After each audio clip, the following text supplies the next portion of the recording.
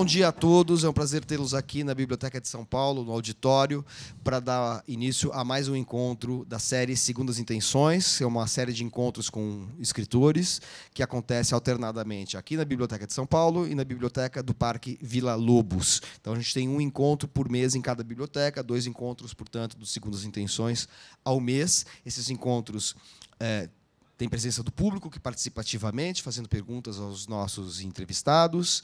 Tem transmissão pela é, internet, pelo Facebook da biblioteca. E é, a gravação fica disponível para quem nos vê agora em reprise, é, fica disponível no site das duas bibliotecas.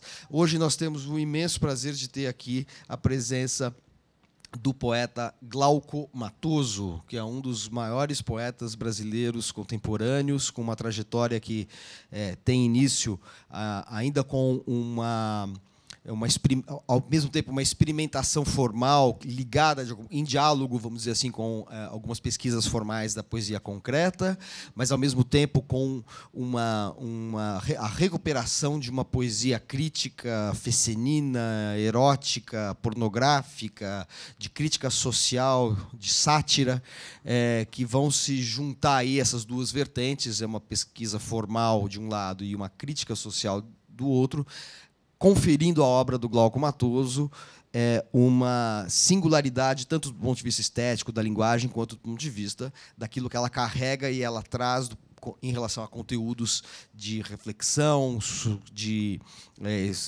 experiências pessoais, de crítica social, de crítica política, de crítica de costumes, de sátira e de também uma carga, uma alta voltagem de erotismo é, temas sobre os quais a gente vai poder conversar aqui.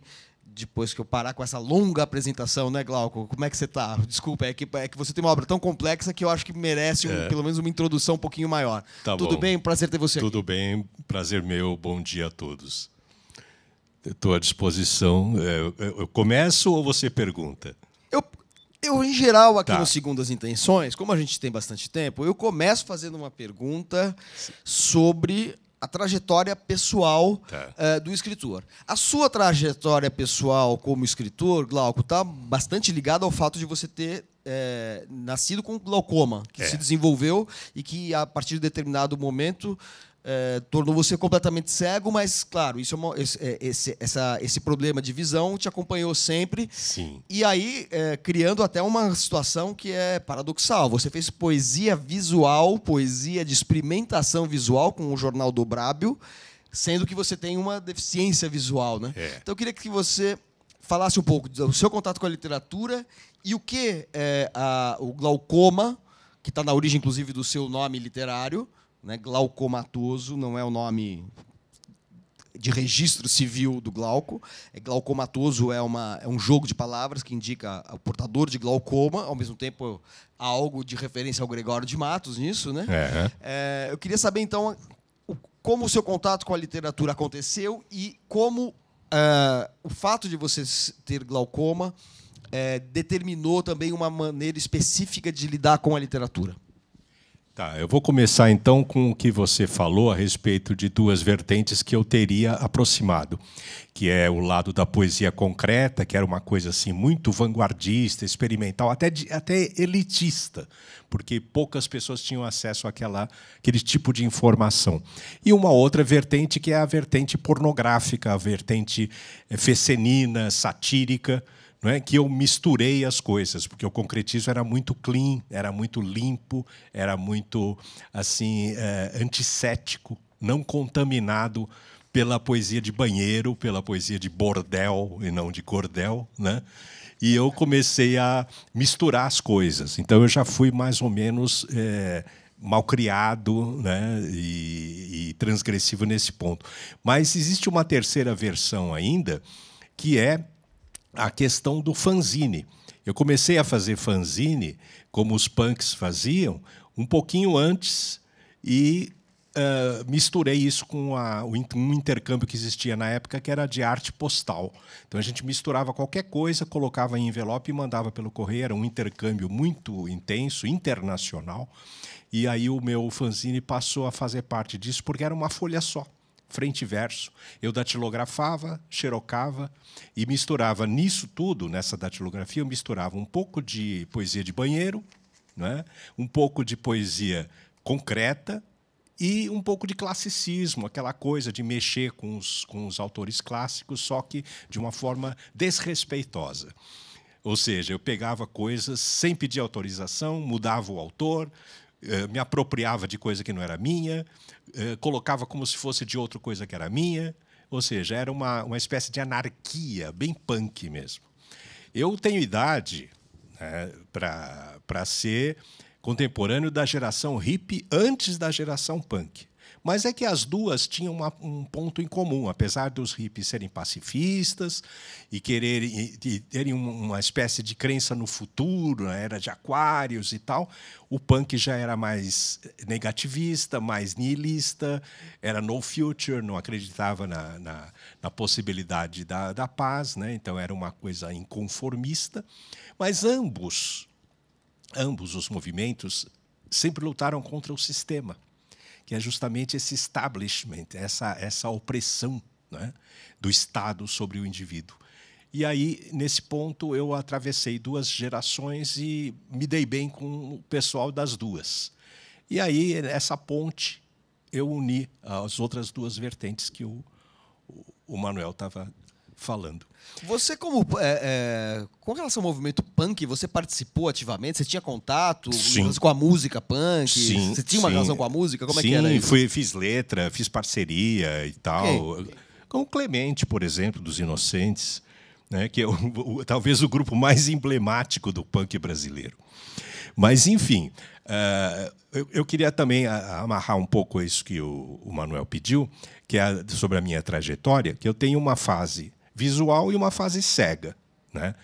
A visual já era meio cega, porque eu nasci com glaucoma e eu estava predestinado a perder a visão, como o Ray Charles perdeu, por exemplo. Acontece que eu fui protelando com várias operações e tal, e consegui prolongar um pouquinho de visão até mais ou menos os 40 anos. Hoje eu já, já estou com quase 70, então já tenho quase 30 anos de, de cegueira total. Mas a experiência de ter enxergado um pouco foi fundamental, porque aí eu trabalhei um pouco com, a, com quadrinhos, com aquela diagramação bem vanguardista de você usar letras numa, num espaço de papel e, e, brincar com as letras, fazer bastante jogo né, visual, gráfico. E depois disso ficou tudo na memória. A memória visual guardou tudo. Aí eu, re, eu reiniciei, depois de cego, numa nova fase. Aí passou a ser a parte da memória a coisa importante. Então, o metro, a rima, como no caso do cordel ou do rap, passaram a ser fundamentais, porque eu compunha e já ia retendo de memória tudo medidinho, tudo rimado para facilitar as coisas. E isso me reaproximou do classicismo, porque eu era eu era na fase visual, eu era muito moleque, muito iconoclasta, eu gostava de de desrespeitar as, as normas, né? fazer uma coisa bem é, anticonvencional. E aí, à, à, medida que eu re, fui recuperando a memória depois da visão, eu fui é, revalorizando aquilo que era clássico na literatura, como, por exemplo, o soneto. O soneto é o tipo de poema mais clássico que existe, mais tradicional, com séculos de existência. E aí eu fui brincar dentro do soneto, mantendo a forma, respeitando a forma, o metro, a rima, mas aí brincando com aqueles temas que eu trabalhava no tempo em que eu enxergava. Aí tem um, um, um pequeno histórico que é preciso que, que se faça. O fato de eu já ser deficiente visual desde criança me deixou meio isolado numa periferia aqui de São Paulo, da Zona Leste. E aí é óbvio que eu sofri muito bullying e esse bullying chegou num momento que, que houve um abuso muito forte, muito sexual. E o fato de eu ter sido muito pisado e ter que lamber pés e tudo mais, no meio de outras coisas sexuais, me transformou num masoquista. O masoquismo foi uma espécie de vingança por aquilo que eu sofri. E aí o masoquismo o, ou o sadomasoquismo me aproximou de toda uma literatura clandestina que já existia universalmente e estava meio oculta. Os maiores eh, literatos, até Manuel Bandeira, até Drummond, todos têm os seus poemas pornôs, mas bem escondidinhos. E eu queria escancarar. Eu queria pegar os autores que mais escancararam. Comecei por esses, fui atrás desses. No Brasil, nós temos o caso do Gregório de Matos, temos o caso do Laurindo Rabelo, que é uma espécie de bocage brasileiro, o próprio bocage em Portugal, né? e Aretino, na Itália. Aí você vai recuando, você tem os, os, os goliardos medievais, você tem o, o, o, Catulo e Marcial na Antiguidade, e você tem os modernos, né? muitos modernos, muitos pornógrafos modernos, principalmente na contracultura, né? que é a área do rock, a área do fanzine, a área da, do gibi. E é, eu me dei muito bem nesse ambiente, fiz muitas amizades, muitos parceiros, como o Angeli, o Lourenço Mutarelli, o Marcati, que o, o Marcati é uma espécie de Robert Crumb brasileiro. Então fizemos parcerias, né, que resultou em quadrinhos bastante é, satíricos e até pornôs. E aí, diante disso, eu consegui fazer uma ponte como eu queria entre a literatura clássica, aquela que é respeitada, que era que, aquela que transforma os autores em acadêmicos, em, em é, objeto de estudo, de tese, de doutorado, aquela coisa toda, e puxei um pouco para o lado da periferia, da rua, do, do, do, da violência, daquela coisa bem podrona, bem hard, que é o ambiente da, da, da contracultura. É mais ou menos isso, é isso que eu venho fazendo e depois de cego passei a fazer muito mais porque agora virou uma espécie de vício, uma espécie de obsessão eu, o fato de eu estar aposentado por invalidez me, me deixa o tempo livre para fazer isso, exclusivamente isso, porque eu estou condenado a uma espécie de prisão perpétua domiciliar, sem tornozeleira. Você diz isso que é, é, você se aposentou, você foi funcionário do Banco do Brasil, né? Sim, eu fui funcionário do Banco do Brasil. Na verdade, eu me formei em biblioteconomia. E aí eu fui trabalhar no banco lá no Rio, que é onde fica a biblioteca do banco né, que hoje é o CCBB. Né? Então, eu trabalhei lá nos anos 70, ainda na, na época da ditadura. E aí eu, nas horas vagas, ficava fazendo fanzine, circulando no meio do pessoal hippie. Né? E havia, é, é, é, havia um paradoxo, na verdade, porque nós estávamos numa ditadura de verdade, não é, essa que se pretende né, mais ou menos imitar agora. Era uma de verdade mesmo. Onde havia é, não havia eleição, todo mundo era nomeado, e havia uma vigilância, um patrulhamento, uma perseguição, inclusive desaparecimentos. Né? E a gente corria o risco o tempo todo, mas parece que, por causa desse risco, a gente desafiava, havia mais criatividade, havia mais aventura, um espírito de aventura. Assim. Então, era mais gostoso fazer tudo, porque não, não tinha tanto patrulhamento, não tinha tanto, é, tanta tanto radicalismo, as pessoas eram mais abertas né, para conversar, as várias tendências. A gente falava mais de pluralismo. Hoje em dia a gente fala de diversidade, né, mas não pratica. Né? Naquela época a gente praticava. Glauco, eu queria te perguntar uma coisa em relação a uma questão do, da, da memória é, e do processo é, mnemônico que está embutido na forma fixa do soneto. Sim. Né?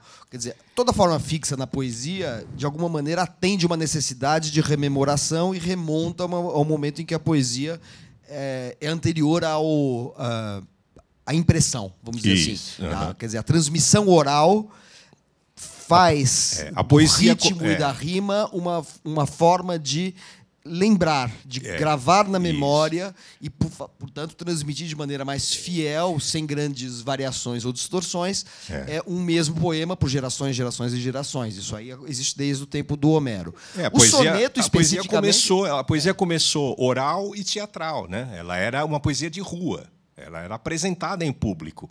Depois é que ela passou a ser escrita. Né? Certo. Agora, o soneto surge, salvo engano meu, com Petrarca, né? Ou pelo É. menos a grande referência do soneto é do É. Petrarca, que é já no final da Idade Média, digamos assim, Isso. início do Renascimento. É, é, vamos dizer, um autor que vai ser decisivo na história da literatura italiana e da história da literatura enquanto tal. Agora, o soneto, a gente, a gente tem aqui, na, aqui na, na- no acervo da biblioteca, e tem aqui exposto nessa mesa na nossa frente um primeiro livro, um, um- livro seu, que Uhum. tem aqui editado por uma editora do Rio Grande do Sul, é, a é um livro Animalesca Escolha. E que tem você na contracapa com uma camisa, como se fosse uma camisa de futebol, está escrito assim, Glauco 14. Na hora eu falei, será 14? Daí, um pouco antes de começar aqui ó, o nosso encontro, o Glauco falou, não, 14 é porque 14 é o número de versos de um soneto. É. Agora, você faz variações é, de várias possibilidades do soneto, porque o soneto a gente na escola, pelo menos, o soneto parnasiano para nós, até praticado até pelo Machado de Assis, né? É, pelo Lavo Bilac, pelo Isso. Afonso de Guimarães, por- pelo, enfim, é, Cruz de Souza, a gente está acostumado com aquele soneto que tem duas estrofes de quatro versos, depois duas estrofes de seis versos. De três, é. Só que vo... Quatro, de quatro, três três, versos, é, somando quatro, seis. três, quatro, três, quatro, três, três. A gente está acostumado com esse soneto. Agora, você explora variações do soneto Sim. que, na verdade, também são históricas, porque o soneto não tem essa, é- é- essa estrutura determinada, né? Não, não. Os, os próprios parnasianos, às vezes, eles colocavam os tercetos antes dos quartetos, ou então 4, 3, 4, 3, ou 3, 4, 3, 4. Era, era, havia mais experiências. Né? Mas a forma 4, 4, 3, 3 é aquela que mais ficou mesmo. Eu, eu, eu, uh, o, o que eu mais variei foi eh, criar cinco estrofes. 2, 3, 4, 3, 2. Ah, tá. Então é um soneto, mas é assim com uma forma um pouco. É, com, com divisão diferente de, esto- de estrofes. Né? E os- o- uma vez eu lembro que você deu uma entrevista para o Fábio Weintraub, poeta Fábio Weintraub, para a revista Cult. Não época- confundir o sobrenome, hein? É, exatamente. Hoje em dia, Weintraub está perigoso. É, na verdade, o Fábio Weintraub gosta muito de Kafka. O, o Abraham Weintraub Não. ele prefere Kafta. É. ele, ele acha que Kafta é um escritor tcheco, É. judeu de língua alemã. é, quando, na verdade, sabemos que é uma iguaria da culinária árabe. Bom, é, parênteses à parte, o Fábio Weintraub, não se perca pelo nome, né? ou pelo sobrenome, ele fez uma entrevista com você para a revista Cult, na época eu estava editando a revista, e, e eu lembro que você disse que a- o soneto era, uma- era como. servia para você fechar o arquivo. É, Você usou uma expressão interessante, que o soneto, pela facilidade da, da memorização, é. é como você à noite. Você tinha um processo que à noite você criava, daí de manhã você ditava para para alguém, para o Akira, que é o seu marido, assim, e daí você... É, não, nessa época eu nem o conhecia. Ah, não é? Nessa época não tinha o Akira ainda? É não, que eu já... eu tava, eu tava cego e sozinho. E aí era um desespero, porque eu já estava prevendo que ia ficar cego, mas a gente nunca está preparado. Eu né? tô falando de uma coisa dos anos 90 e... É, 90 e pouco, é por- 94, 95, né? Aí que aconteceu? Eu já já já vivia paranoico de perder a visão. Quando perdi totalmente, me desesperei, quase não dormia, tinha pesadelos diários. E os pesadelos são terríveis, porque você sonha tudo colorido, enxergando tudo, aí você acorda e vê que está cego. Então a realidade é, é que é o verdadeiro pesadelo. Né? É melhor sonhar do que acordar. E aí eu ficava naquela naquela ansiedade e não conseguia dormir, então a- a solução era bater uma punheta para ver se acalmava um pouco. Né? E aí, o, que, o que eu ia mentalizar para essa masturbação? Qual seria a fantasia masturbatória? Comecei a imaginar cenas. Cenas assim, recordando as humilhações que eu sofri, do bullying da, da molecada e outras situações que eu começava a, a imaginar onde um cego poderia ser usado como escravo ou podia ser abusado de alguma forma. Só que isso eu precisava fixar de alguma forma. Eu pensei, vou fazer conto, vou fazer crônica? Não. Vou tentar fixar de uma forma mais sintética, mais, mais memorizável. Aí eu comecei a compor soneto e vi que era uma coisa realmente possível, porque o soneto parece um tabu, na verdade. Quem nunca compôs e quem lê os sonetos eh, de Camões, os sonetos de Bocage, acha que é uma coisa assim muito trabalhada, muito difícil, mas de repente se a gente puser em prática, a gente vai adquirindo o, hábito e vai começando a pensar em decassílabo. O decassílabo clássico, que é o praticado por Bocage, ele tem três pés rítmos. Um, dois, um, dois, três, quatro, um, dois, três, quatro. Que você pode encontrar, por exemplo, nos Lusíadas, né? Azar, mas e os barões assinalados. Ou então no hino nacional, ouviram do Ipiranga as margens plásticas. Sempre um, dois, um, dois, três, quatro, um, dois, três, quatro. Se você começar a praticar, você vai formulando frases nesse ritmo quase que instintivamente. É mais ou menos como os cantadores de cordel, aqueles repentistas, que vão tocando a viola e vão, vão se desafiando é assim quase que de improviso. Não é bem um improviso, porque eles já têm um repertório mental tão bem trabalhado que aquilo vem na memória e eles já vão aplicando ao caso assim. Né? Não é tirado totalmente do nada. Eles já têm um repertório mental. O rapper também é assim. Na verdade, é uma forma urbana daquilo que os cordelistas nordestinos já faziam desde o século XIX. Mas eu precisava, para mim, uma, uma maneira de reter isso, de guardar e de registrar. Eu já tinha um computador falante, né, um sistema mas eu precisava levantar da cama, digitar, e era uma, uma voz é, sonorizada meio alto, podia acordar a vizinhança e tudo. Só depois que eu consegui fone de ouvido e outras coisas mais sofisticadas. Enquanto isso, eu tinha que memorizar. E o soneto, a rima, o metro, facilitou muito.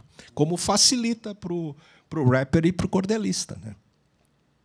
E quantos sonetos você já compôs? Bom, vamos, vamos fazer uma comparação. Come... É, Quando começou essa coisa do soneto, é. esse projeto, não sei se foi um projeto, mas assim, você deu início a essa, essa série de livros com sonetos. É, vamos, vamos fazer uma comparação. O Petrarca, o poeta italiano lá do fim da Idade Média, ele compôs 300 e poucos sonetos. O Camões, duzentos e poucos. Tudo bem que ele fez os Lusíadas, que não é soneto, então os Lusíadas são uma obra monumental e tudo, né? O, o Bilac, os parnasianos, que praticamente só faziam soneto, né? cada um compôs mais ou menos 500, 600, por aí. O, o, quem compôs mais no Brasil compôs 1.300, que foi Luiz Delfino. Internacionalmente, tem um italiano do século XIX que compôs 2.279. Aí, quando eu compus o meu 2.280, eu bati o recorde dele e fiz um soneto para quem que era? Chamava-se Giuseppe Belli. E esse Giuseppe Belli, coincidentemente, ele era pornógrafo também. Ele fazia sonetos satíricos, inclusive para brincar com a autoridade do Papa, porque ele vivia em Roma. Né? E o Papa, era, ele, o Papa exercia, naquela época, um governo civil também, não era só autoridade clerical. Ele governava também a cidade de Roma. E aí o, o Belli desafiava essa, essa autoridade e fazia anedotas, uma, uma coisa assim bastante misturada. Né? Aí eu fui continuei a compor nesses 20 anos de cegueira, eu passei dos 5.500. E eu ia chegar a mais de 6 mil, 7 mil. É que eu, eu interrompia de vez em quando para escrever conto, escrever romance. Eu fiz um dicionário ortográfico, eu fiz um tratado de versificação, e, quer dizer, várias coisas no meio do caminho. Não era só soneto e não era só poesia. Se eu tivesse feito só soneto, acho que teria passado de 10 mil. E é lógico que teria que entrar no Guinness, né? mas não sei se tem Guinness para isso.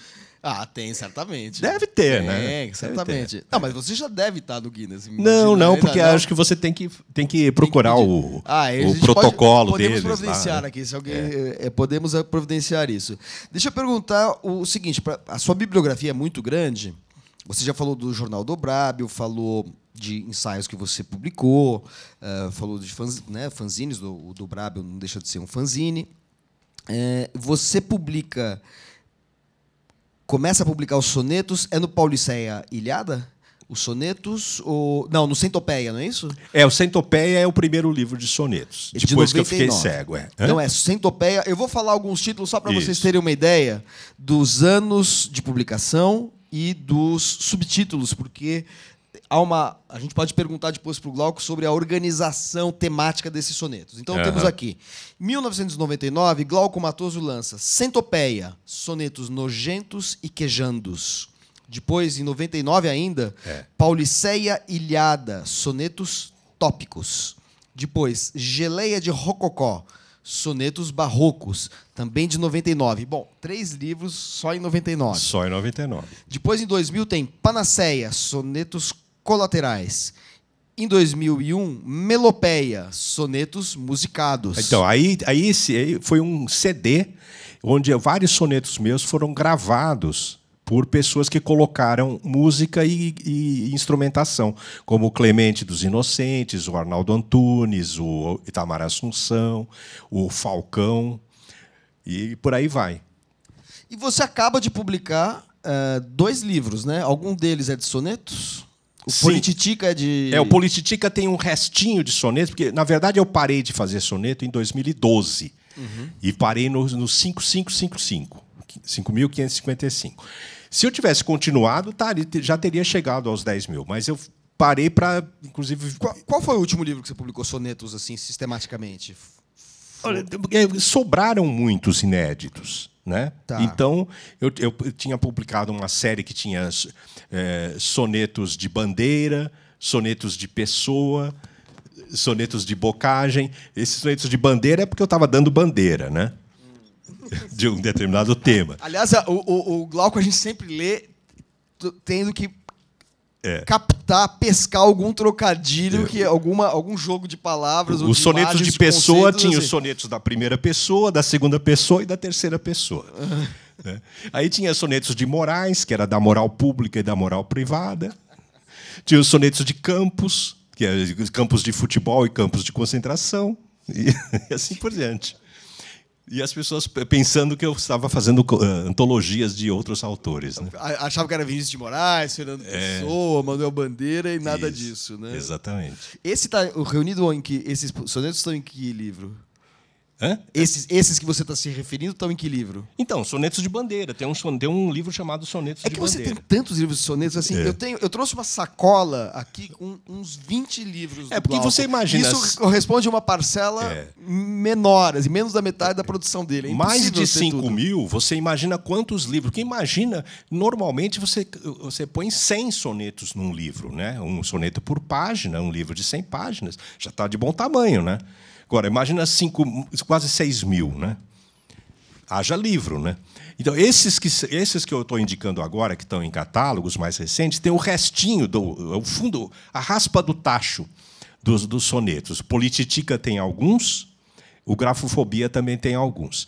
Já o teatro lírico já não tem mais soneto. Esse teatro lírico é mais recente já não tem mais soneto. É só poema Mas apesar do, atual. mas a, a- a despeito do título Teatro Lírico é um livro de poemas. É, de poemas. é. Sempre de poemas. É. Você, aliás, já fez isso. Você já fez vários livros que induzem a ideia de que é um, outro, é um romance, por exemplo. É. E é um livro. Isso- é um, é um isso livro por- de- é, um isso romance. aí- O Raimundo Curupira, por exemplo. Isso. É um livro que é um, é um romance lírico. É. Explica isso. Como é que é esse jogo entre essa, essa, essa confluência ou essa convergência de gêneros literários? De diferentes? gêneros, isso, exatamente. O soneto, tradicionalmente, ele é considerado poesia lírica, ou seja, ele teria que ser de amor, teria que falar de amor. O Camões, por exemplo, ele reservou os sonetos para falar de amor. Quando era para falar, por exemplo, de aventura, aí eram os Lusíadas, que era a grande aventura de Portugal. né? Então, o- o- a narrativa épica, heróica, a epopeia, né, teria que ser em oitavas e não em soneto, não em forma de soneto. O outro tipo de soneto que você teria é o soneto satírico, que é aquele do Bocage, do Camões, que tem às vezes umas cenas pornôs no meio.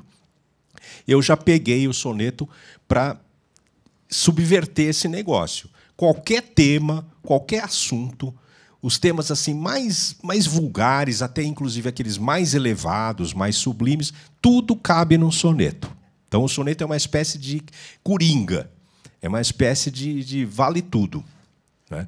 E aí eu, eu fiz também narrativas. Aquilo que o Camões fazia em oitavas, eu passei a fazer em soneto. Um soneto depois do outro vai contando uma história. Você vai continuando a história no soneto seguinte.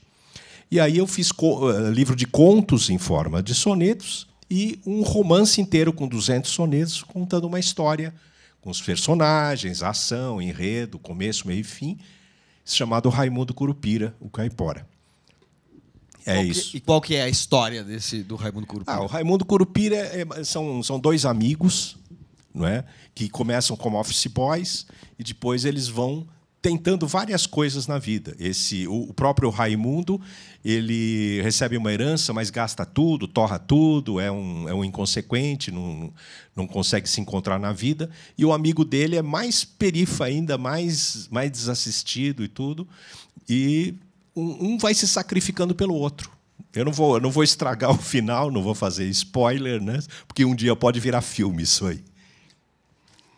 Mas, enfim, é uma, uma aventura de dois amigos, cada um tem a sua, a sua namorada, né? eles não são, é, não são gays e nem, e nem uh, vamos dizer assim, não, não tem aquele perfil do, do, personagem símbolo. Eles transitam né, do herói para o bandido. Eu sempre mexo com essas temáticas de uma forma ambígua. Ninguém é totalmente bandido nem mocinho, nem vilão nem herói. Né? A gente é, é, tudo ao mesmo tempo. Glauco, eu vou aproveitar que a, a, a capa do livro Polititica está no nosso telão e o site da editora Córrego, que acaba de publicar o livro. E é bom mencionar isso para quem está aqui presente na plateia, que eu convido, aliás, a já fazer perguntas para o Glauco Matoso. Quando vocês quiserem fazer perguntas, podem levantar a mão. Já passamos aqui é, mais de 40 minutos do nosso encontro. Se vocês tiverem perguntas, é só levantar a mão que temos um microfone para que fique registrado para o vídeo.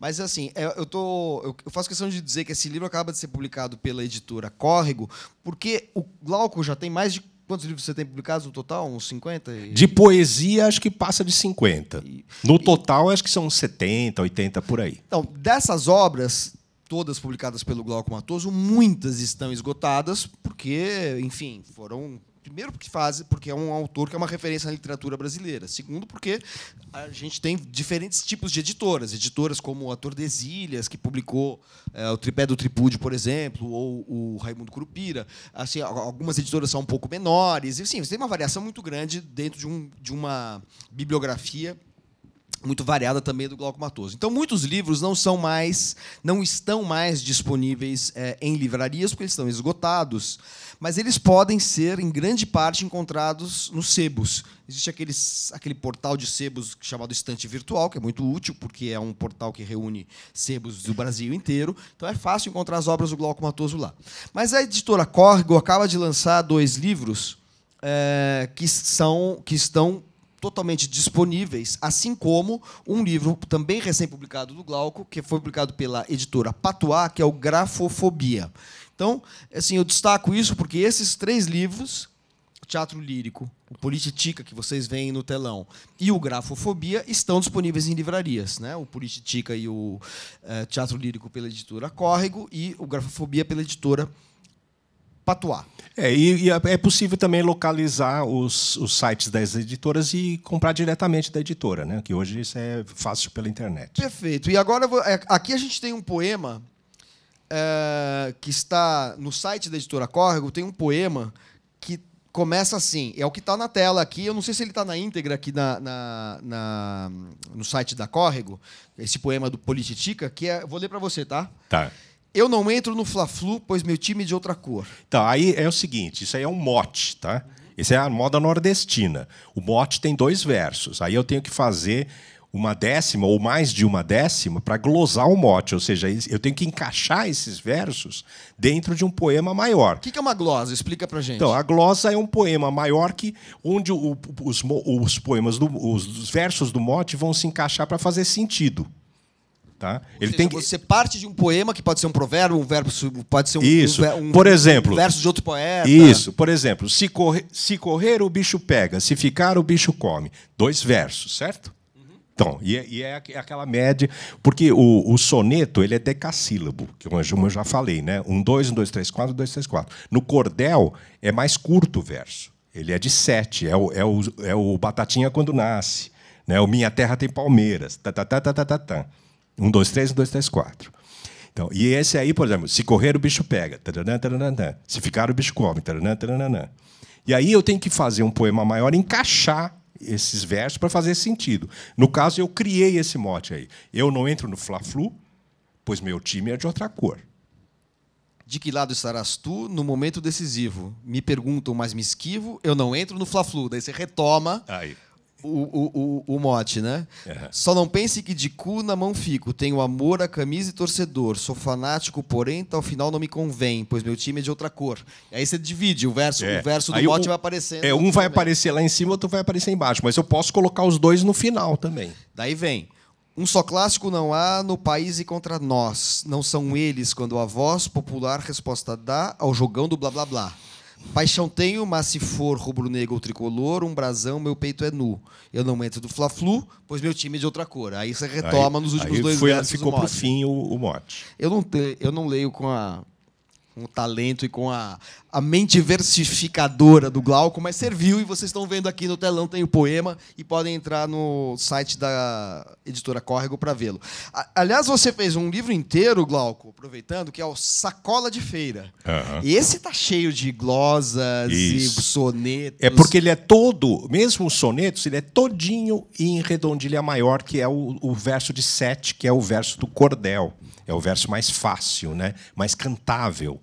Como Aliás, ele é mais eu- curto, ele é mais cantável. Aliás, o projeto gráfico do livro é muito interessante, porque ele tem uma, tem- uma interação com imagens, tudo, É. né? Assim, remete a todo esse universo do cordel e da, e da, e da sacola de feira. Acho que remete um pouco também às feiras populares do Nordeste, talvez, né? As Sim, feiras- é que tem uma parte do livro Vou que, pa- onde eu falo de cada fruta e cada legume e faço um poema para cada um. Esse livro está disponível aqui, ele pertence ao, ao acervo da Biblioteca de São Paulo, está disponível para quem quiser retirar o livro e ler. E eu estou fazendo circular o meu exemplar pela plateia para que as pessoas tenham uma ideia, possam folhear e ver o, o projeto gráfico do livro, que é muito interessante. Esse livro é, te- tem uma característica que está presente em várias obras suas. Sacola de feira, tá com dois Cs. É. Por que, que você escreve todas as. Os, exemplo, teatro lírico. Vamos colocar a capa do teatro lírico aqui, é, naquele e-mail do.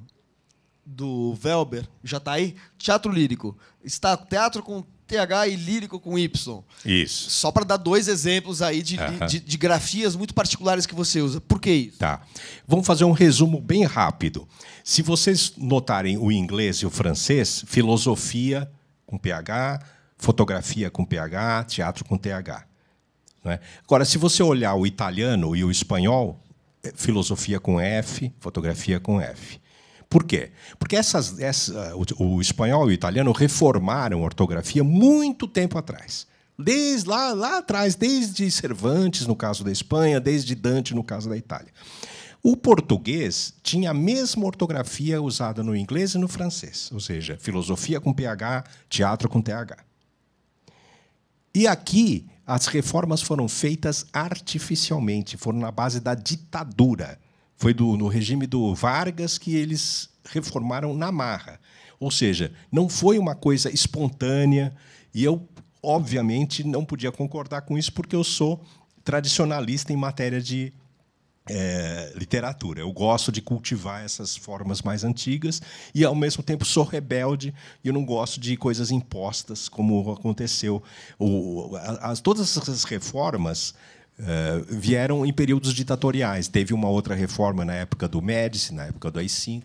Então, é tudo de, tudo de cima para baixo, tudo imposto. Não é?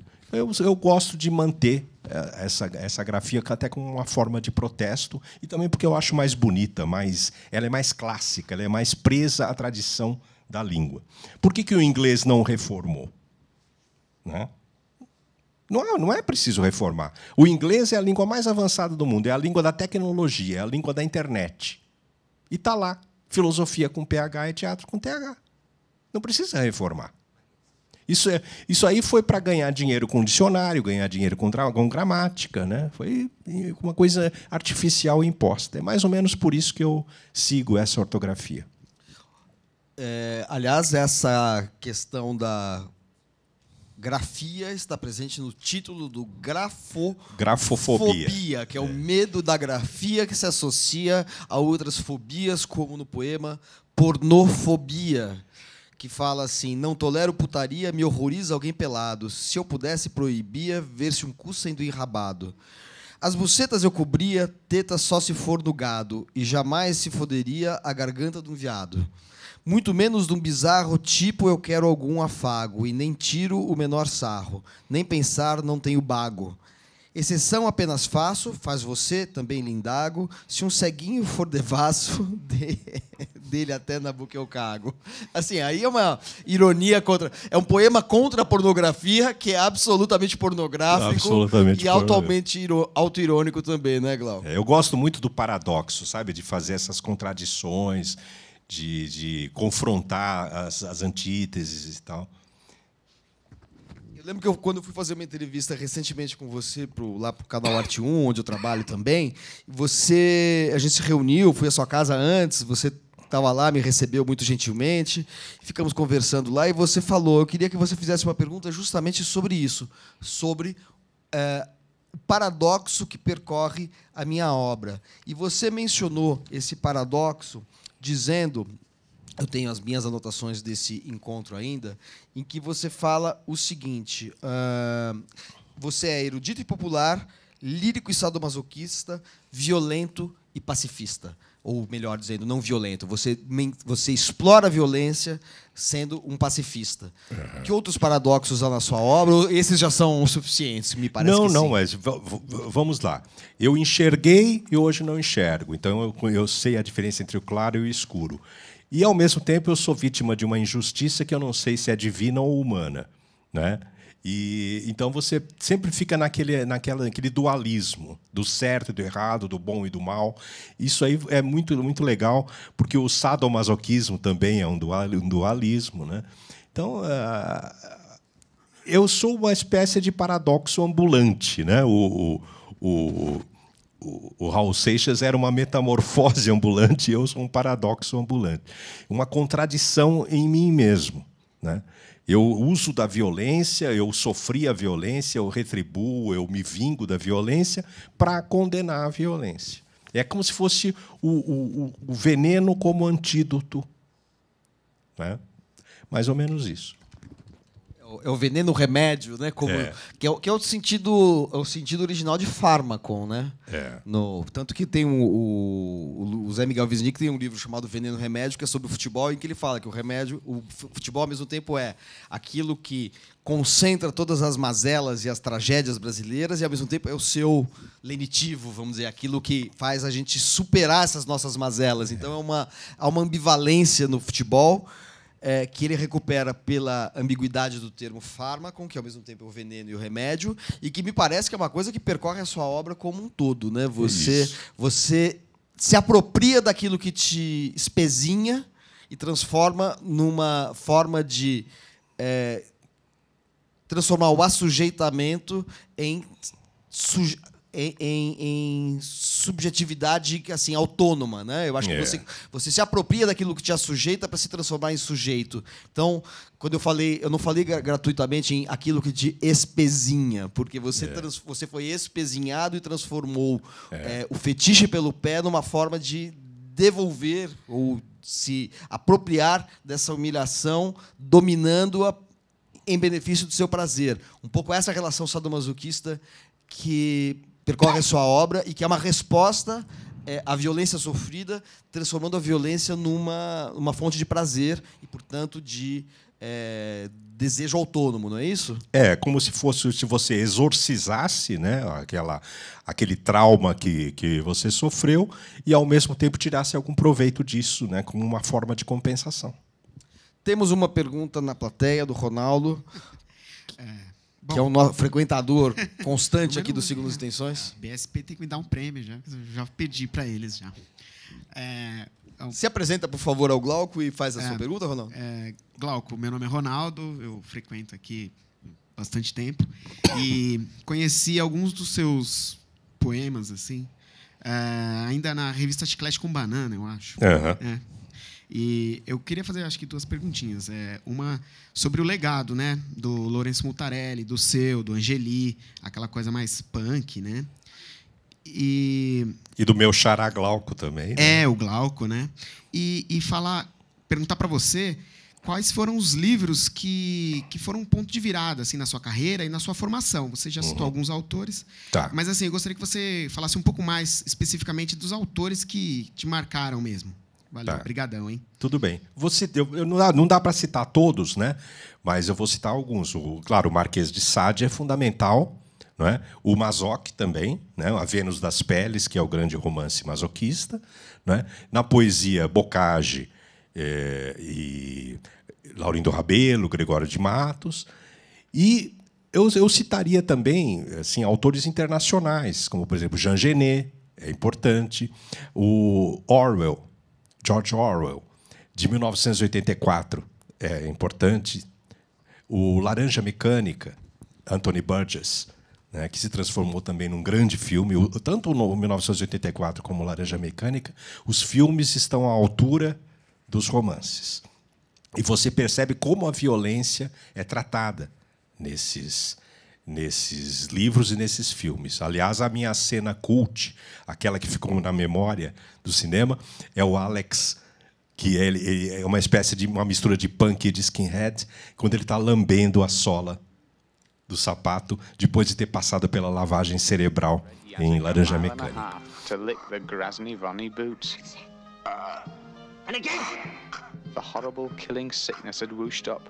and Então, essas, essas obras me marcaram muito. E você havia mencionado um autor mais antigo, no, quando começou a falar do soneto, que é o Aretino, autor dos sonetos luxuriosos. Luxuriosos. Que é pornográfico a beça. A né? beça. O- é o- mais pornográfico que Bocage, que. O, o Gregório. Bocage, o Bocage, ele se dizia discípulo de Aretino. não é? E o Aretino demorou para ser traduzido em português. Quem traduziu foi o José Paulo Paes, um poeta que eu conheci ainda vivo. Você imagina como demorou para existir em português a obra do Aretino. Perfeito. Falando. ah, temos uma outra pergunta na plateia, por favor. Ah, ele, o Ronaldo pede para você responder uma outra pergunta. O ele tinha- legado, né? Faltou falar Ah, sobre o legado, o legado sim, do- o legado, desses claro. artistas, Não, eu então, eu- enquanto eu ainda enxergava, eu, eu já fazia aquele fanzine, o Jornal Dobrábil, e fazia algumas poesias assim bastante eh, fanzineiras e, e- e, vamos dizer assim grafiteiras de banheiro, mas eu não fazia, eu não desenhava. Né? Mas o, o tipo de, de, de assunto que eu tratava cabia muito bem em quadrinho. Então, acabei fazendo uma parceria com o Marcati, depois com o Lourenço Mutarelli, e isso acabou virando gibi. E aí, nessa época, eu também colaborei no Gibi Chiclete com Banana do Angeli, porque tinha uma parte dentro do, gibi que não era quadrinhos, era uma espécie de fanzine que misturava eh, texto em prosa com, com versos. Aí eu coloquei algumas letras de música que depois viraram viraram eh, eh, música punk, música de, de psychobilly e hardcore e tu- por aí vai. né? Então eu acho que o Angeli, o Laerte, está vivo, e o Glauco, que já morreu, o meu xará, Glauco Vilas Boas, eh, além do, do Lourenço Mutarelli e do Marcati, eles são eh, eh, pioneiros no Brasil de um tipo de quadrinho que não é aquele quadrinho assim super produzido com aquela uma espécie como o do Maurício que é uma espécie de Walt Disney brasileiro assim super comportadinho né? Não eles são muito mal comportados eles são bastante contraculturais é aquela aquele espírito do sexo drogas e rock and roll né? Que é a base da contracultura. Então esses esses a gente tem que eh, tirar o chapéu para eles e eu tenho eh, o privilégio de ter convivido com eles, né, que são até mais jovens do que eu. E te- te- termos feito parceria. São, são ícones. Né? O Angeli está retirado hoje, o Glauco já morreu, o Laerte nem tem mais feito muito quadrinho, né? agora ele já está numa, numa performance. Ele demorou né, para se assumir, demorou para se travestir, então agora ele está curtindo, está tirando atraso. Mais uma pergunta? Você são todos amigos, são todos queridos. Meu nome é Raul, né? Sou um admirador da sua poesia. A minha pergunta é, é bem simples, né? De- depois de você ter perdido a visão, como que você faz para com, com a leitura E como que você escreve? Você fala, alguém grava, alguém escreve ou você datilografa? Como que você lida com isso? Uhum, o o tá. Borges, ele contratou o Alberto Mangel para ler para ele, né? Que é e ele tinha a companheira, né? A Sim, Maria a- Kodama. sim. Né? Eu tenho um, um- um- um- marido japonês também, o Akira, mas eu o conheço há menos tempo não é, do que o, o- o tempo em que eu estou cego. Acontece o seguinte: é, quando eu fiquei totalmente cego, né, a, a, em 95 a- a- já, já havia o Windows 95, já havia um pouquinho de, de início de, de tecnologia, é, vamos dizer assim, o, o- o- o engatinhante da internet. Né? Quando, dali a pouco, no ano 2000, eu já tinha o meu site pessoal, construído por outra pessoa, claro. Eu não podia construir sozinho. Mas eu já tinha e-mail e já tinha um computador falante. É um sistema desenvolvido pela Universidade Federal do Rio de Janeiro chamado DOSVox. Você tecla num teclado comum, e eu já tinha a experiência da datilografia e do teclado, e esse teclado vai te falando, vai te devolvendo cada tecla. Se você teclar no minúsculo, é uma voz feminina. Se teclar com maiúsculo, é uma voz masculina. Então você sabe se você está teclando minúsculo ou maiúscula, e todos os acentos, toda, toda a pontuação é falada também. Isso permite escrever e depois ele lê para você. Você tem um- uma série de comandos que permitem editar o texto. Mesmo alguns sites de, de notícias, tem uma opção para você ouvir uma leitura. Uma, é uma leitura do próprio computador, né? Quando você. Sim. Ao contrário do que você estava. Você está falando de digitar. Mas, por exemplo, tem sites assim que você. No, sei lá, eu acho que o UOL, alguma coisa. Você clica num lugar que a, a, a, a matéria é lida por- pelo computador, não é isso? É. Não, você vê, isso, em 2000 eu já estava mexendo com essa tecnologia. Hoje, né, quase 20 anos depois, você tem o, o celular, o portátil com o WhatsApp acessível para cego. Tudo, tudo agora é falante, né? tudo é áudio. Mas o que eu gosto mesmo é, é ficar no fone de ouvido com um computador de mesa, com teclado grande e teclando como se fosse uma, uma máquina de escrever antiga. É assim que eu escrevo, assim que eu componho. Né? Claro que muita coisa eu faço primeiro de memória, depois eu sento para digitar, né? porque aí eu dou a, a versão final e, e cuido da redação e da pontuação. Alguém tem pergunta na plateia ainda, por favor?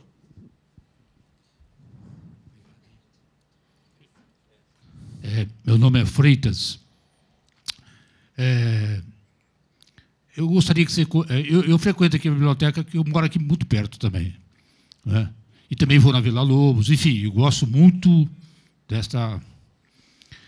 É, eu queria saber o seguinte: é, se você poderia comentar aquele acontecimento é, na França, né, que acho que o jornal, eu não me lembro muito bem assim, um jornal. Hã? Charlie Hebdo, aquele que É? foi. Isso. Ah, e aí aquele que foram os cartonistas mortos. foram assassinados por, Isso. por fundamentalistas Exatamente. radicais, né? É, o que que, enfim, o que que você pensa disso? É. Isso aí, esse é um, um dilema muito grande, né? porque o, o, um- uma das premissas do humorismo, e a poesia satírica faz parte do humorismo, né? tudo isso é uma espécie de.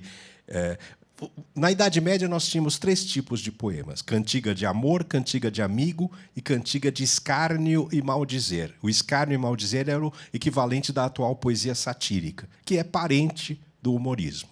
E o humorismo em quadrinhos, ou em charge, ou em texto, é sempre humorismo. Uma das premissas do humorismo é que não existe humorismo a favor. Humorismo a favor, humorismo chapa branca, não é humorismo. Né? O humorismo ele tem que ser crítico. Primeiro, autocrítico. Você tem que fazer gozação de si mesmo. Eu sou cego, então eu faço as piores piadas, as, as- as coisas mais, mais ridículas em relação ao cego. Eu faço, eu viro um palhaço para poder. Isso me autoriza a gozar quem quer que seja. Esse poema que eu li qualquer aqui assunto. para você, o Grafofobia, que está aqui, o Pornofobia, você, você conclui como uma tiração de sarro de si, né? Um velhinho cego, uma coisa assim. Você Exatamente. é, é. Então, se você não tem piedade de si mesmo, você não pode, não pode ter condescendência com nenhum assunto. Isso significa que o humorismo não admite censura de espécie alguma. Né? Agora, é claro que se você tiver num veículo de grande repercussão, como era o Charlie Hebdo, né? o, a palavra Hebdo é, em francês é equivalente a hebdomadário. Hebdomadário quer dizer semanal. Uma coisa que circulava em bancas, que nem o Pasquim aqui, né? semanal. Todo... Eu cheguei a colaborar no Pasquim. E isso é um, é um problema. O Pasquim também enfrentou é, censura, perseguição e tudo. Só que no caso do Charlie Hebdo, a coisa foi muito mais longe, porque mexeu com uma coisa que é incompatível com a atualidade, que é o medievalismo. Né? O, o, o, fundamentalismo islâmico é uma espécie de idade média, é como se fosse o túnel do tempo, né? é o, o de volta para o passado. Nós estamos uh, convivendo com a Idade Média. E a Idade Média, o que, que era? É mais ou menos equivalente ao, ao catolicismo na Idade Média. Você tinha a fogueira da Inquisição para queimar livros e pessoas. E hoje em dia o fundamentalismo islâmico é isso. Já tinha acontecido antes com aquele o que escreveu os versículos satânicos, Salman Rushdie. Salman Rushdie. Ele já tinha sido condenado à morte pelo Ayatollah Khomeini do Irã. É. E aí o, o, Charlie Hebdo foi, foi o mesmo tipo de, de, de, de, atentado à liberdade. É um dilema muito grande. Você, você vai se sujeitar, vai se limitar a respeitar alguma coisa para não ser vítima ou por respeito mesmo a princípios. Se você é um humorista, você não pode respeitar nada. Você tem que ser é, crítico de tudo. Né? Aí, aí é, é, um, é um dilema bem grande. Eu acho que você pode arriscar a vida, sim.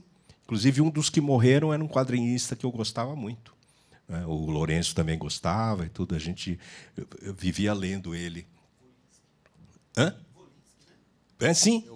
É. Volinsky. Volinsky. Volinsky, como dizem é, os Volinsky. É. Glauco, daqui a pouquinho a gente vai chegar ao final do nosso encontro, daqui a 20 minutos. Você não, não gostaria de é, encerrar... Ah, perdão, o Freitas, a mesma pessoa que respondeu, perguntou sobre o Charlie Hebdo, tem uma pergunta ainda que, que ele vai complementar agora, por favor. É, eu acho que a hora que você colocou esse negócio aí do dilema, né? É a coisa também da intolerância, né? Isso que, veja bem, é uma outra cultura, talvez para eles, eles também. Não é? Então, como se a gente vivesse assim no meio dos, dos farós antigos, ou se a gente entrar, por exemplo, no meio dos índios, com certeza, lá no, no meio da serra, a gente vai encontrar um monte de, de coisas muito estranhas que nos é, né, apavoram, aterrorizam e chocam. Né? E eu achei que você tem que respeitar a cultura até para preservar a tua sobrevivência. Né? O que, que você acha disso? É. Então, você vê, o catolicismo, apesar de ter vivido aquele período da Idade Média, que era uma coisa obscurantista, o, o catolicismo ele evoluiu né? e hoje em dia ele é mais tolerante. O, o, lado mais protestante, que foi uma reforma do catolicismo, acabou sendo a coisa mais de maior retrocesso, que hoje eh, acabou dando nos evangélicos, né? que é uma espécie de, de grande retrocesso, grande medievalismo. Agora, um exemplo do, de como o catolicismo evoluiu é o fato do esse Giuseppe Belli, esse sonetista que eu gosto, ele tem um soneto em que o em que o São Tomé duvidava da, da ressurreição de Cristo. Aí Cristo chama ele e fala: "Olha, segura no meu pau aqui, vê se vê se isso é concreto ou não". Preciso ver para crer, é, né? Aí, aí, aí o São Tomé segurou na na caceta lá de, Jesus e acreditou que ele tinha ressuscitado. Eu traduzi esse poema, transformei num poema em português, né, com as rimas em português. Agora, imagina se fosse, em vez de Cristo, fosse Maomé. Aí não podia? Ué. Eu estaria mais aqui. Provavelmente. Temos uma outra pergunta da plateia, por favor. Glauco, meu nome é Gilberto, eu frequento aqui bastante a biblioteca. Eu queria saber se quando você escreve, você pensa na possível consequência daquilo que você escreve ou não? Não. Não. não. Eu não tenho, não, não faço autocensura. Eu, eu acho o seguinte, eh, para complementar, inclusive, acho que é uma, é uma boa forma de amarrar. O meu pai era kardecista.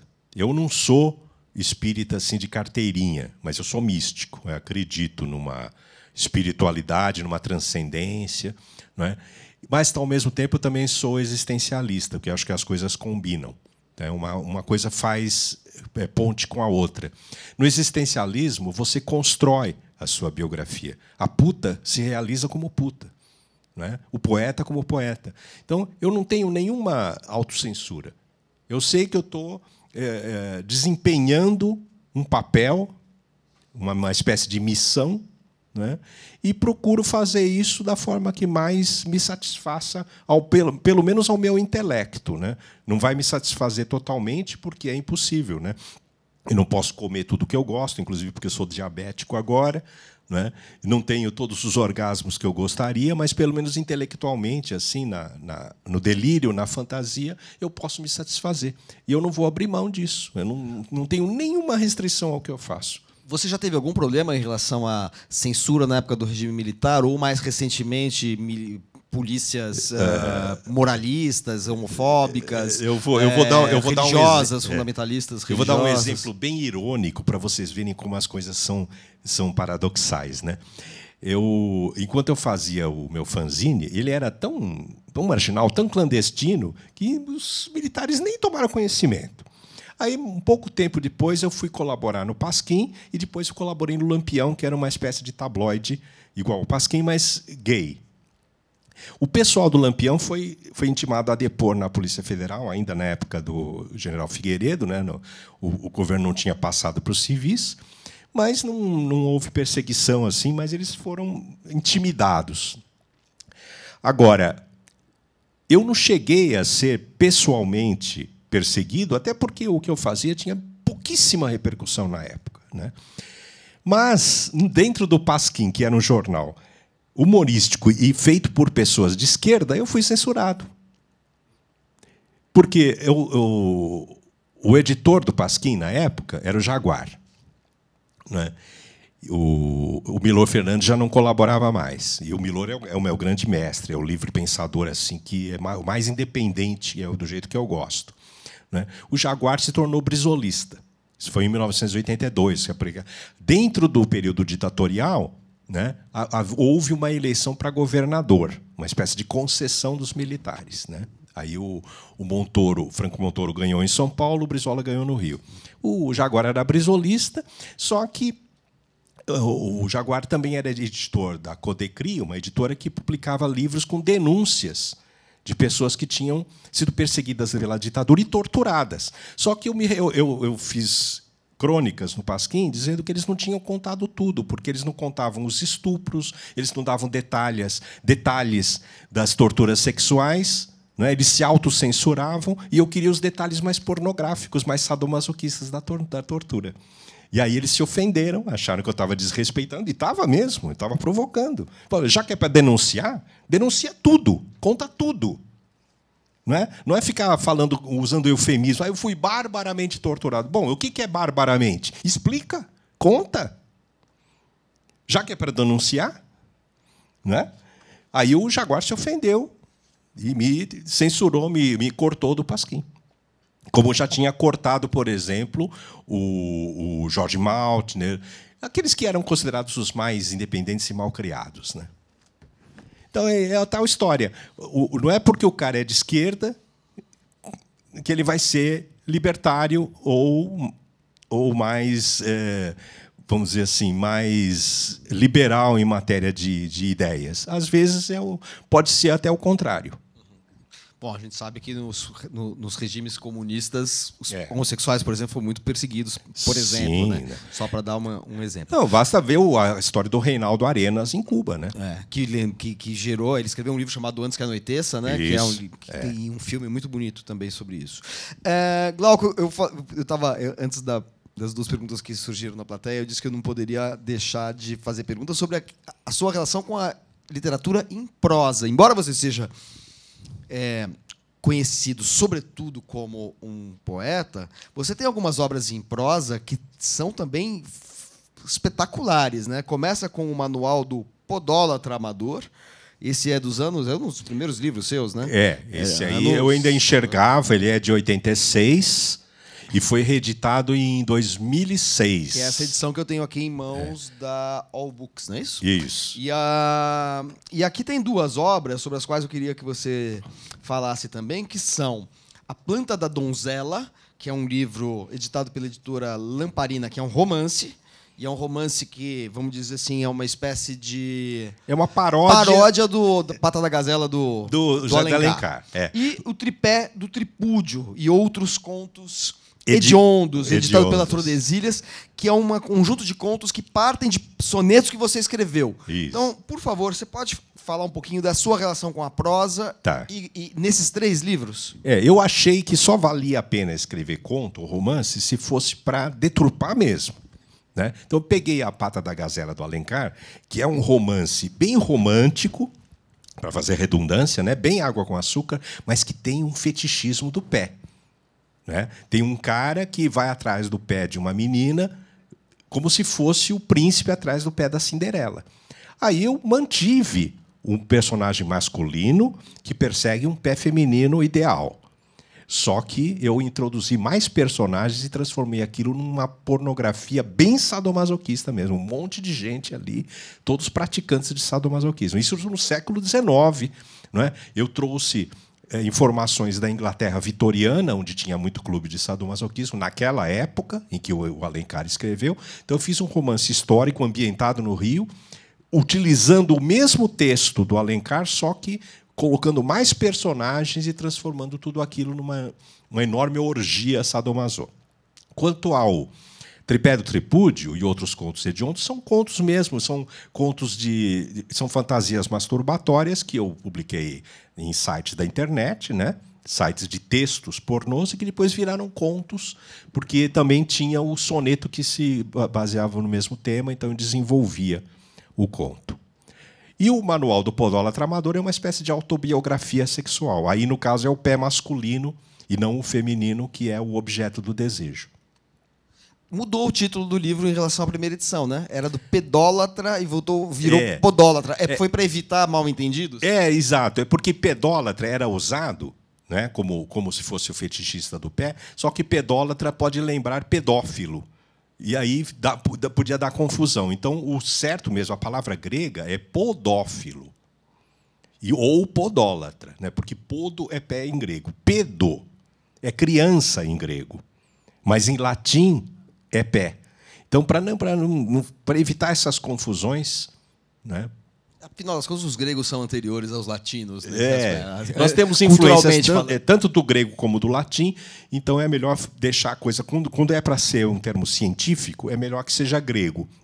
É, Glauco, o, voltando aqui para o tripé do, do, do Tripúdio, é, que é um, é um livro muito interessante, porque queria explorar um pouquinho mais isso porque é um livro que tem uma intertextualidade dentro da sua obra, ou seja, é como se você tivesse explicitando ou inventando, sabe-se lá, né? Que o poeta é o fingidor, como sabemos. É. É, você está explicitando ou inventando a cena que deu origem a alguns sonetos feceninos. Né? Você, você, você, começa os contos falando. No soneto tal, eu falei dessa situação. Às vezes são dois sonetos, é. uma situação que gerou mais de um soneto. Né? Isso. Exatamente. É porque eu acho que a prosa ela desenvolve, né? ela é mais prolixa. O soneto ele condensa. Então, eu, às vezes, me dava vontade de contar a mesma história que eu contei no soneto, mas contar assim de uma forma mais mais solta, né? como se fosse um bate-papo. Tanto que, se, eh, se, você notar, esses contos do, do livro Tripé do Tripúdio são todos feitos em forma de diálogo. É como se fosse uma pessoa conversando com outra, e aí vai puxando a conversa. Ah, como é que, que aconteceu e tal? Como é que foi aquela história? Tarará? Aí o outro vai falando e o outro vai perguntando: ah, mas e aí? Mas e, no, e, e aí, o que aconteceu e tal? E eu, eu vai, vai desfiando Perfeito. a prosa. Perfeito. Para finalizar, a gente já falou dos últimos três livros que você publicou, que são Grafofobia, você já falou um pouquinho, o, o, o Teatro Lírico e Polititica, você falou um pouco da questão dos sonetos dentro deles. Mas, embora o, no Polititica fica bastante claro qual é a temática, e até esse poema que a gente leu aqui, né, que eu, eu tentei ler é, respeitando a sua, a sua invenção formal, não sei se com ou sem sucesso, em que você fala do fla-flu político, quer dizer, usa o fla-flu, a imagem do fla-flu, que é um termo que a gente usa para falar da rivalidade política e ideológica que existe no Brasil hoje. Então me parece que o Polititica, e eu pergunto isso porque são dois livros recentes que eu ainda não tive a oportunidade de ler, é, ainda não tenho, tanto que a gente mostrou a imagem dos livros aqui no telão, eu não tenho um livro físico aqui para mostrar, mas me parece que o Polititica ele é, ele é organizado em torno é, das querelas políticas contemporâneas, é isso? É, é, metade dos poemas tem alguma coisa política e a outra metade tem alguma coisa de escatologia mesmo, daí a, a titica, né? Quer dizer, tem muitos poemas que não falam de política, mas falam da, da vamos dizer assim, da, da merda no sentido político. Ou seja, a, a, as sujeiras, as, as, os detritos da sociedade. Né? Perfeito. E o teatro lírico? O teatro lírico ele tem um, um, poema que é como se fosse um filme pornô, todo dialogado. Então eu descrevo a ação e, e, os diálogos que rolam em torno dessa ação. É um, é um poema, uma espécie de poema dramático, né? Como se Desculpa, fosse. É, é, é, um poema único, então? Não, é o, teatro... é o, mais, o mais longo do, do livro. Ah, então o teatro. O, ele, ele dá título ele... ao livro porque é, é, um, é, um, é um poema muito longo, todo, todo feito com personagens que dialogam. Qual e é aí, a esse, a esse poema que deu o, título ao livro, eu acrescento outros menores que já não são sonetos. Aí é um, é, são, é, são poemas muito recentes, é do ano passado e deste ano. E qual é o tema desse diálogo do teatro lírico, do poema teatro lírico? Ah, esse poema ele é, uma, é uma, uma trepada, é um cego que é casado com uma, uma, uma pessoa que enxerga normalmente, uma normovisual, não é? E ela, ela, arruma um ricardão e transa na presença do cara, né? E o cara acha, ele, ele sabe, mas finge que não sabe, o cego que ela está transando com outro na presença dele. Perfeito. É, alguém mais tem perguntas ao Glauco Matoso aqui na nossa plateia? É, se não houver perguntas, eu vou é, dar encerrado esse nosso encontro, porque já está chegando no nosso horário, convidar vocês para os próximos encontros da série Segundas Intenções. Então, nós temos no dia, é, como eu disse é, Inicialmente, nós alternamos encontros aqui na Biblioteca de São Paulo e na Biblioteca do Parque Vila Lobos. No dia 14 de setembro, teremos a escritora Verônica Stiger, na Biblioteca do Parque Vila Lobos.